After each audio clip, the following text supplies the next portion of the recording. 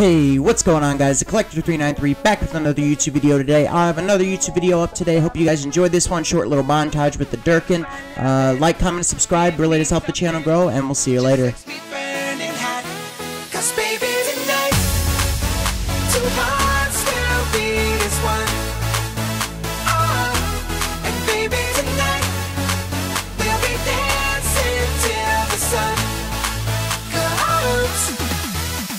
This chick must be bugging.